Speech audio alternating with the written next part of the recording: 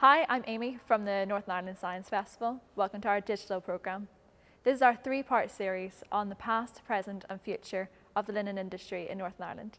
If you like what you see, remember to hit that subscribe button. Irish linen was a huge industry uh, right across the island of Ireland. It was famous all over the world. It was regarded as an extremely high quality product. And it's not just the, I mean, the, the machinery for making flax and linen was exported from, from here all over the world as well as linen itself. Uh, so, you know, it was one of the biggest employers uh, in the country, a huge industry. We do thankfully still have some weavers and we have uh, one beetler uh, still going, which is amazing. But a lot of the other stages in that supply chain have gone. Um, so it's a, it's a huge undertaking uh, to try and bring that back, but it's, it's something we just think uh, would, be, would be so nice to see flax growing in fields again here.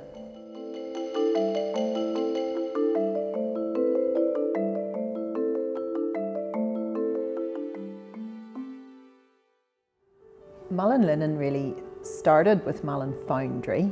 Um, we make bronze sculptures and have been doing that for quite a few years. And we went looking for some Irish linen to, to package the bronze sculptures in. And that just got us really interested in Irish linen. We started asking lots of questions about where it came from.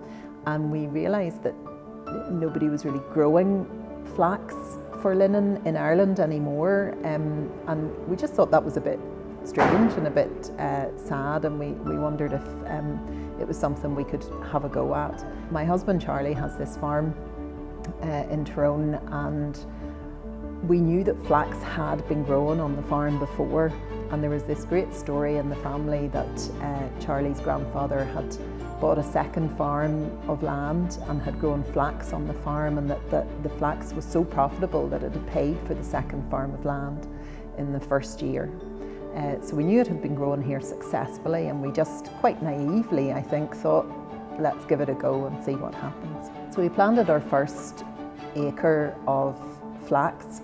We did everything wrong. We planted the wrong variety, um, we planted it the, you know, at the wrong seeding rate and, and did lots of things wrong, but we learned loads um, and we uh, harvested that and so that was the start of it and we've we've been growing every year since then. So we're in our we've harvested our third year. This will be our fourth and every year we're getting a little bit better at it now.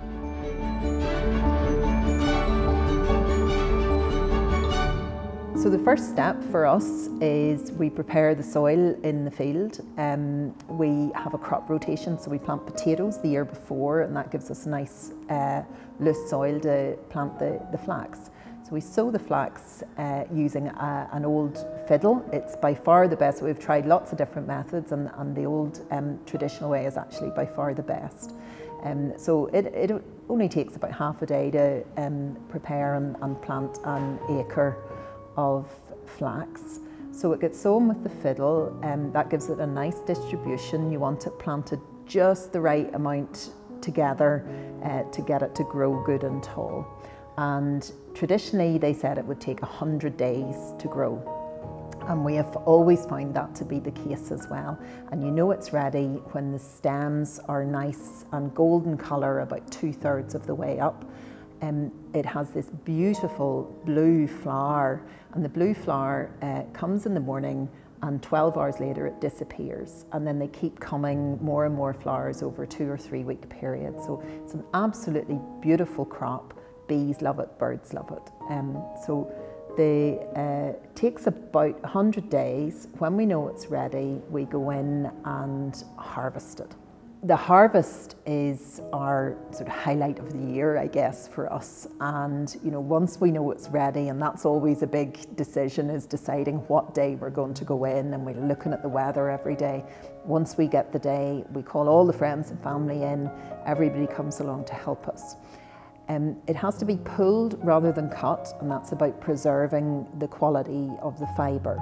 And we're really lucky that we have um, some of Charlie's uncles who remember pulling flax and they're in their um, late 80s now, but they have come up and helped uh, to pull flax on the farm and that, that's just really nice to get that knowledge passed down and they always criticise our technique and how we're doing it and show us how to do it better. Um, it's lovely to get that kind of support from them.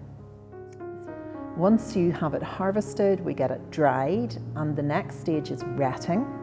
Uh, that used to be done in flax dams, but now we do it in a, a stainless steel tank. So it gets retted and that's about breaking up the, the outer core uh, and releasing the fibre from the plant. Once it's been retted, which can take a couple of weeks, we take it out of the tank, we dry it, and the next stage is to break it uh, so that you break up the, the, the stems. Then it gets scutched, which means taking off all the other bits of the plant to leave just the nice fibre exposed. Then it gets heckled, which is about putting it through various stages of combs to get it all nice and smooth and straight. Uh, then it gets spun, uh, which can be by hand or by machine. Uh, once it's spun, you've got yarn that you can weave.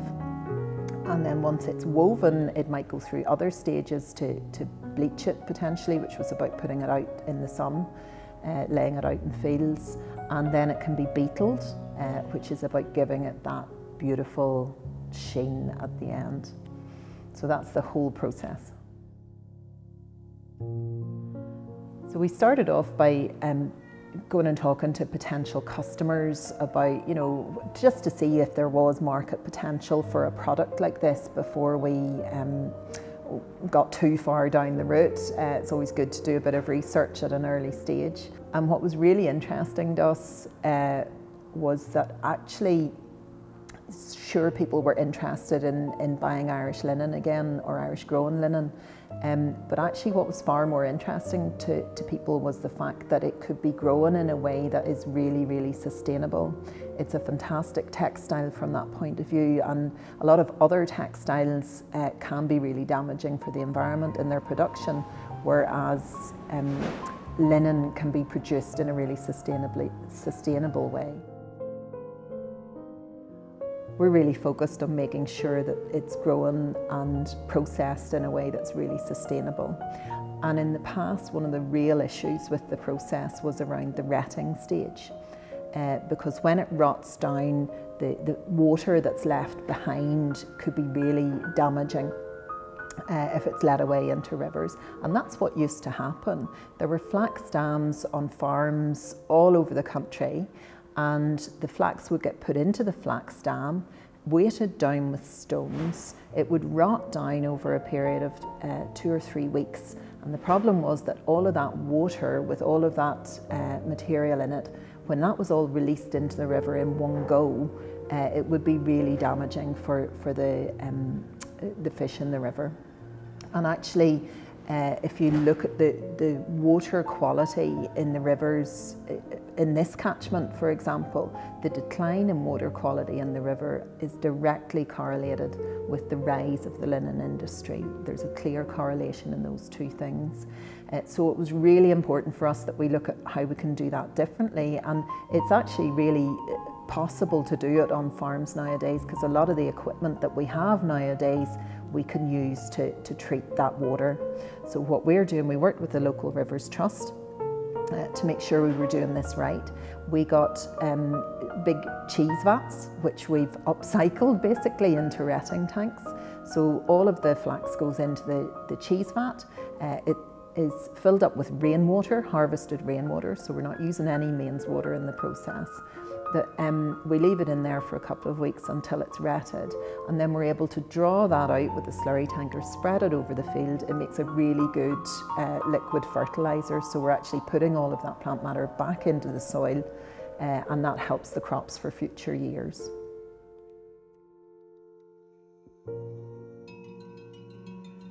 Um, so the, the, scutching can be a, a, really long and laborious process if you're doing it by hand. Um, and there were various machines over the years that would have been used for scutching. So the first version is um, just a hand version uh, where you were doing it with a sort of paddle. And that would take an awful long time to do any quantity of flax. Um, subsequent to that, there were water-driven uh, scutching turbines And they were um, obviously much quicker and much more effective, but it was actually really dangerous as well because people were um, having to come in contact with these very fast moving uh, turbine blades. Uh, and there's lots of stories about terrible injuries from the scutching mills uh, that were water driven.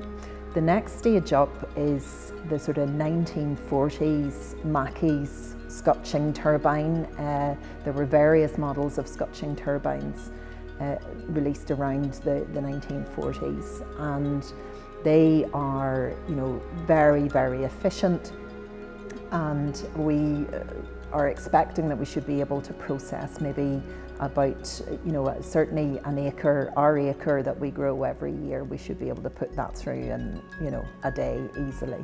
So that will massively speed up our process. When we uh, first planted our first field of flax, um, we kind of naively thought that all the rest of the processes that we'd need would be being done somewhere. But when we went looking for, you know, who's going to scutch or uh, who's going to even spin, um, we suddenly realised that actually a lot of the processes or a lot of those processes are missing. Um, so we were, uh, you know, really stuck then because we think, are we going to have to do this by hand or are we going to have to ship it away somewhere else to be processed? And that just wouldn't have been viable and it certainly wouldn't have been as sustainable as we wanted it to be. By sheer luck and a series of coincidences, found out that um, somebody local had got an old 1940s uh, scutching turbine that had been active in a mill in a village nearby up until the 1970s. And it had been stored in a barn and uh, was under, a, you know, in all sorts of small bits under a big pile of other stuff.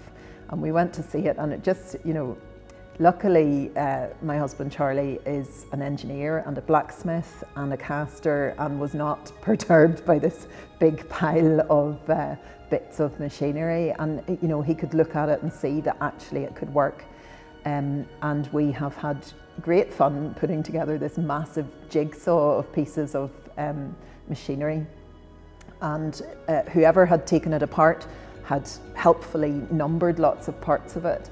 So we were able to, uh, that gave us a bit of a guide. And what we've been really, you know, so encouraged by was um, when we started to tell people what we were doing and when people saw the flax growing in the field, so many people have come up the lane and said, I used to work with machines like this, or I used to grow flax, or I used to, or here's a machine, we've got a machine, and people keep giving us machines and parts and all of the stuff that we need. So that's been really encouraging all of that support because so many people remember it and remember it being grown here and we're part of the industry.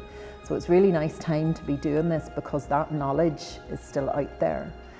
So the, the, the scutcher has gradually gone together bit by bit and we're at a point now where um, all the pieces are there. It's all moving, it's all freed up. Um, the motors are coming next week and we'll go on and that, that should get it um, up and running again.